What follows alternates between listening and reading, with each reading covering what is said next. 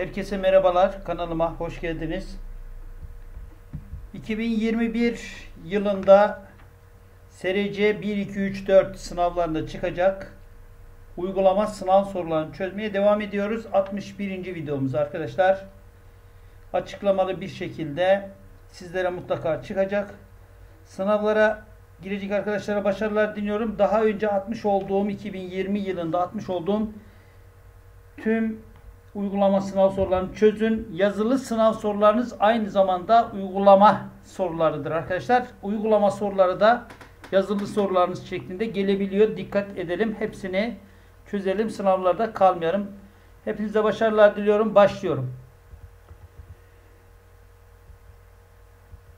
SRC uygulama sınavlarında 3 adet soru sorulmakta. Sorulardan ikisini doğru cevaplayanlar sınavı geçmiş sayılıyor. Arkadaşlar soru sorulduktan sonra 60 saniye süre içerisinde soruları cevaplamak zorundasınız. Yazılı ve uygulama sınav hakkı ayrı ayrı 4 oluyor arkadaşlar.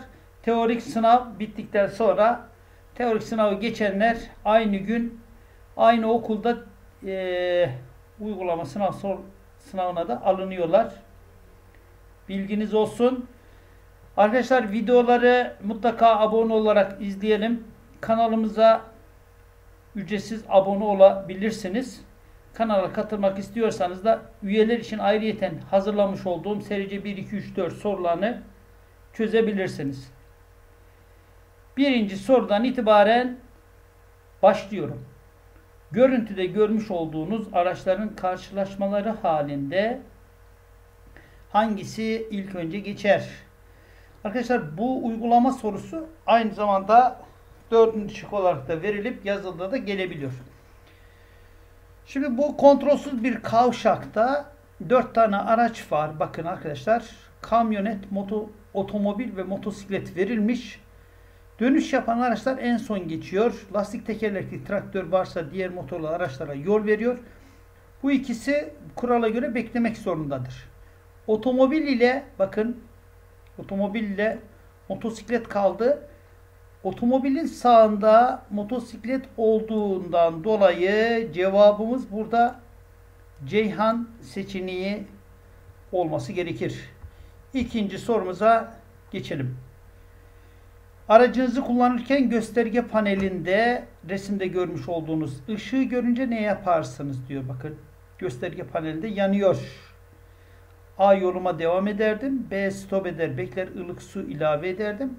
C yüksek devirde kullanırdım. Arkadaşlar bakın aracın soğutma sistemi yani hararet yap, e, yapabileceğini yaptığını gösteriyor. Burada aracınız eğer e, hararet yaparsa aracınızı stop edip bekler ılık su ilave etmeniz gerekir. Bursa seçeneği cevap olacak. Hemen üçüncü sorumuza bakabiliriz. Evet üçüncü sorumuzda yine sınavlarınızda sık sık geliyor arkadaşlar. Görüntüdeki ticari aracı siz kullanıyor olsaydınız. Bakın. Evet. İş öncesi hazırlıklarında nelere dikkat ederdiniz? A. Araçta bulundurulması zorunlu olan belgelerin eksiksiz ve tam olduğuna. B. Araçta bulundurulması zorunlu teçhizatların eksiksiz ve tam olduğuna. C. Hepsine dikkat ederdim. Tabii ki burada e, arkadaşlar hepsine dikkat etmek zorundayız. Ceyhan seçeneği cevabımız. Hemen dördüncü sorumuz. Görüntüdeki ikaz lambasının yandığını gördüğünüzde bakın. Nasıl davranırsınız? A. Lastiklerin hava basıncını kontrol ederdim. B. Akü kutup başlarını kontrol ederim. C. Yakıt alırım işareti. Bu işareti soruyor bakın. İkaz lambasının yandığını gördüğünüzde ne yaparsınız diyor. Gösterge panelinde yandı. Demek ki bunun bir anlamı var. Lastik hava basınçlarının e, kontrol etmemiz gerektiğini bize bildiriyor. Cevabımız Adana seçeneğidir. Hemen 5. sorumuza geçebiliriz. Yine 5. sorumuz da sık sık sınavlarda uygulama sınavlarında sık sık soruluyor. Arkadaşlar serici 1, 2, 3, 4 uygulama örnek soruları ortak sorular. Ee, şekildeki araç sürücüsü siz olsaydınız ne yapardınız? Evet bakın. A yoluma devam ederdim. B yayanın geçmesini beklerdim. C yaya aracın geçmesini beklemelidir diyor. Evet. Ee, burada e, yoluma devam ederdim. Yanlış değil mi arkadaşlar? Yaya geçidinde yayanın geçmesini beklerdim. Doğru. Yaya aracın geçmesini beklemelidir. Evet burada yayanın geçmesini beklerdim olması doğrudur. Altıncı sorumuza geldik. Altıncı sorumuza bakabiliriz. Görüntüde görmüş olduğunuz takograf verilerinin iş yerinde ne kadar süre saklanması zorunludur? A 5 yıl, B 2 yıl, C 6 ay. İş yerinde takografın iş yerinde ne kadar süreyle saklanması gerektiğini bize soruyor arkadaşlar. Kontrol aygıtı kayıtlarını kayıt tarihinde itibaren bir ay süreyle araçlarda muhafaza etmek zorundayız arkadaşlar. Bir ay takograf e, cihazındaki verileri 5 e, yıl sürede iş yerlerinde saklanması gerekiyor. Yani burada verilen cevabımız Bursa değil arkadaşlar Adana seçeneğidir. Evet. Adana seçeneği 5 yıl süreyle saklanması gerekiyor. Yedinci sorumuza bakabiliriz. Yedinci sorumuzda yine uygulama sınav sorularında sık sık sorulan sorulardan. Görseldeki levhanın adı nedir? Trafik levhası sorulmuş arkadaşlar. Refüj başı B ana yol, C tali yol. Evet. Bakın ana yol başlangıcı. Evet ana yol başlangıcı levhasıdır. Bursa seçeneği cevabımız olacak. 8. sorumuza bakalım. Evet. 8. sorumuz da yine son dönemlerde sık sık sorulan sorular tehlikeli madde taşıyan araç diğer araçlarla arasında yerleşim yerleri dışında en az kaç metre mesafe bırakarak seyir edecektir? 20, 50, 100 tehlikeli madde taşıyan araçlar yerleşim yerleri dışında diğer araçlarla arasındaki takip mesafesini soruyor arkadaşlar. Ee, cevap burada 50 olması gerekir. Yani Bursa seçeneği yerleşim yerleri dışındaki karayollarında tehlikeli madde taşıyan araçlar diğer araçlarla arasında en az 50 metre mesafe bırakarak seyir etmeleri gerekiyor. Bu araçlar eğer park edecekseler diğer e, araçlarla arasında en az 20 metre mesafe bırakmaları gerekir. Dokuzuncu sorumuza geçebiliriz. Evet dokuzuncu sorumuz. Size buradan üç tane soruluyor arkadaşlar. Üç tanesi sorudan iki tanesini doğru bilmeniz gerekiyor sınavı geçmeniz için.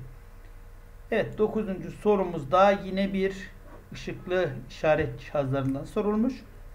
Görseldeki fasılalı sarı ışık yanıp sönüyor. Bakın. Yanıp sönüyor. Fasılalı sarı ışık. Evet. Fasılalı sarı ışık e, sürücü ne yapmalıdır diyor. A. Yavaşlayıp yol uygunsa dikkatli geçer. Değilse durulup geçen araçlara yol verir. Bakın. B. Durmalıdır. C. Yolun trafiğe kapalı olduğunu bildirir.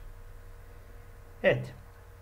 Arkadaşlar burada fasılalı olarak yanıp sönen e, sarı ışığın anlamını sormuş. Trafikte e, yol ver levhasıyla aynı anlamdadır bakın. fasıla olarak yanıp sönen sarı ışık yol ve levhasıyla aynı anlamdadır. Yavaşlayıp dikkatli bir şekilde karşıdaki araca yol vererek e, geçmemiz gerekiyor. Burada yavaşlayıp yol uygunsa dikkatli geçilir, değilse durup geçen araçlara yol verir. Cevabımız Adana seçeneği doğrudur. 10. sorumuz yine güzel bir soru arkadaşlar sizlere de gelir. Resimde yol resimde görmüş olduğunuz yol bölümüne yaklaştığınızda ne yapmalıyız? Bakın burada nedir? Aracımız A ani fren yapmamalıyız değil mi? Kaygan yol. Kaygan yola geldik. Gaza yüklenmemeliyiz B seçeneğinde. C seçeneği hiçbirini yapmamalıyız. Evet. Yolun kaygan olduğunu, yağmur yağdığında bu bölgenin kayganlaştığını gösteriyor.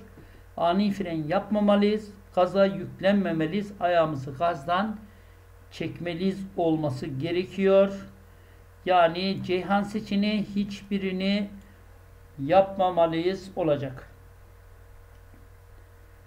Evet arkadaşlar 11. sorumuz yine bir kontrolsüz kavşak sorusu. Burada sıralamayı soruyor. Evet bu videoda 11. soru şekildeki araçların geçiş hakkı sıralamasını yapınız. Araçlara bakalım. E, kontrolsüz kavşaklarla ilgili kuralımız açık ve net arkadaşlar. Dönüş yapan araçlar varsa en son geçer. Bakın. iki tane aracımız var. Dönüş yapıyor. 3 ile 2 beklemesi gerekiyor. 4 ile 1 var. Düz gidiyor. Herkes kendi sağındakine yol vermesi gerekir. 4'ün sağında 1 olduğu için öncelikle 1 numara ilk geçer. Daha sonra 4 nolu araç önce geçiyor. Sonra dönüş yapan araçlara bakıyoruz. Dönüş yapan araç 2 ile 3. 2'nin sağında kamyonetin sağında bakın motosiklet olduğu için önce motosiklet geçer. Son olarak da kamyonet geçer. 1 4 3 2. 1 4 3 2 hangi seçenekte var arkadaşlar? Denizli seçeneğinde cevabımız olacak. YouTube Nedim Şeker Akademi kanalına abone olup videoları beğenmeyi unutmayın lütfen. Hepinize başarılar dilerim. Çok çok önemli daha önce atmış olduğum uygulama sorularını mutlaka çözün. Yazılılarda da çıkıyor arkadaşlar uygulama soruları. Hepinize başarılar diliyorum. %100 SRC mülakat ve yazılı sınavlarını kazanma garantili örnek soruları kaçırmayın. Bir sonraki videoda görüşmek üzere. Hoşçakalın arkadaşlar.